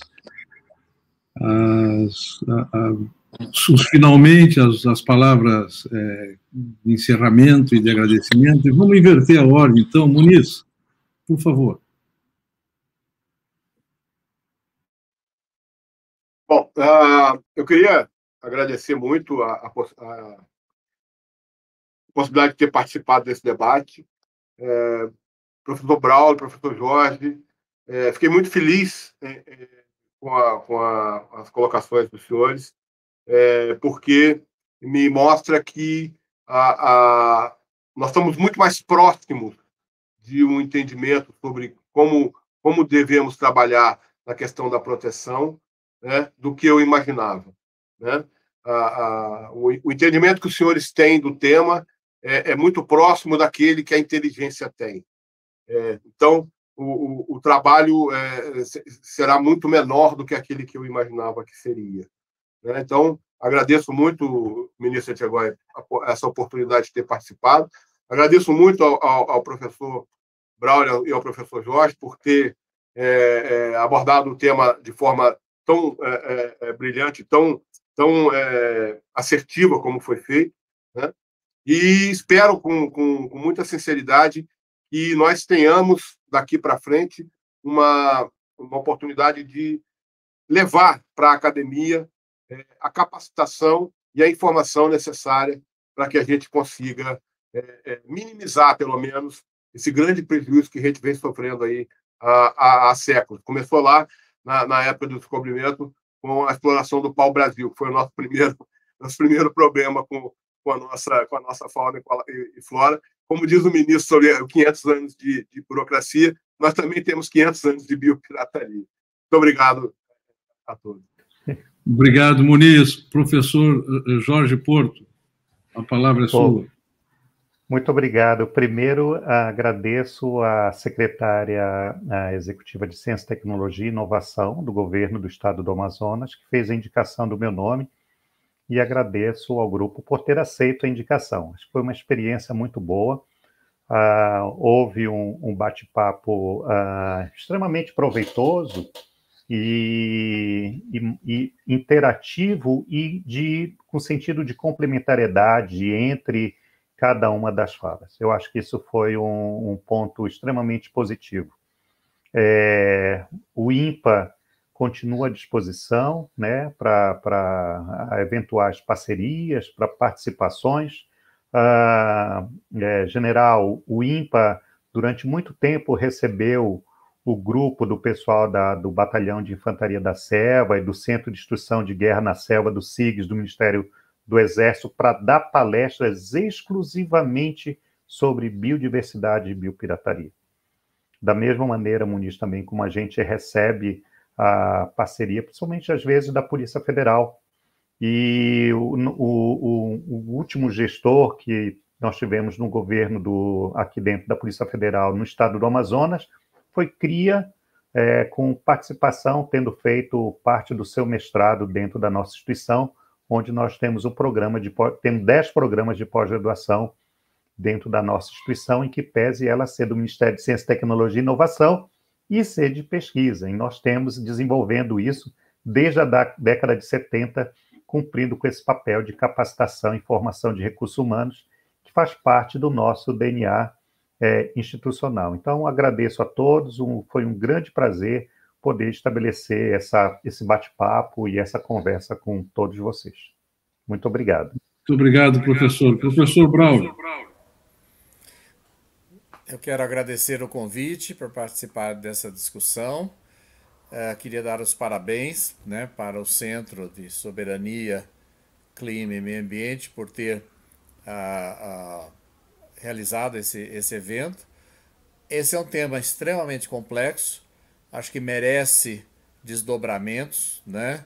E maior aprofundamento em certos aspectos, né?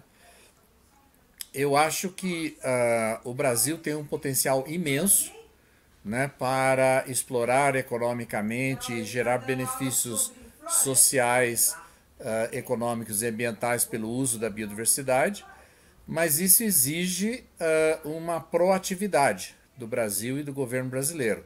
Então eu acho que não adianta a gente ficar reclamando de estrangeiros que estão se apropriando da nossa biodiversidade se a gente não toma as medidas necessárias. Então eu acho que uma medida necessária é o reforço da capa das capacidades institucionais de diferentes instituições brasileiras acha que deveria, uma sugestão, ministro Echegói e, e, e ministro Jungmann, seria talvez sugerir que esse tema deveria ser tratado, por exemplo, pela ENAP, a Escola Nacional de Administração Pública, aqui em Brasília, deveria ser eh, tratado na, na Escola Superior de Guerra, né, como um tema estratégico para o país, né, porque é um tema que diferentes organizações uh, têm que entender melhor dessa temática, né?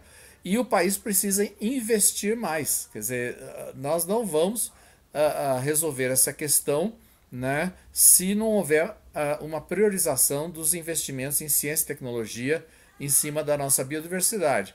Nós vamos continuar deitado em berço esplêndido. Né?